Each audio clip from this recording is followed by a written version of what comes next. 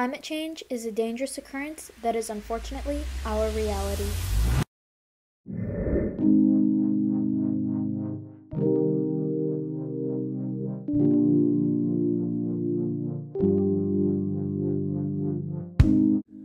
Please don't mind the dead squirrel.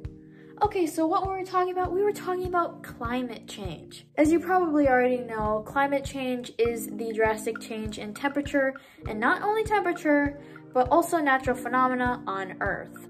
Scientists claim that if we don't change how we live our lives now, then our lives will be totally different by 2050. There are so many animals throughout the world that suffer greatly from our actions. In addition, reasons for such high water levels and frequent forest fires have to do with our poor regulation of carbon emissions.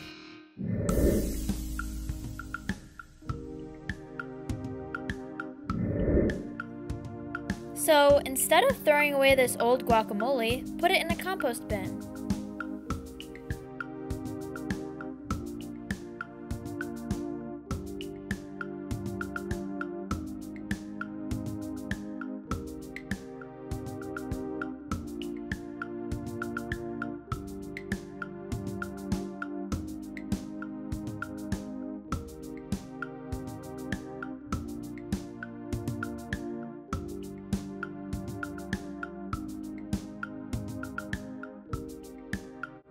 Here at Lansing Catholic, let's strive to be better stewards every day, not just Earth Day.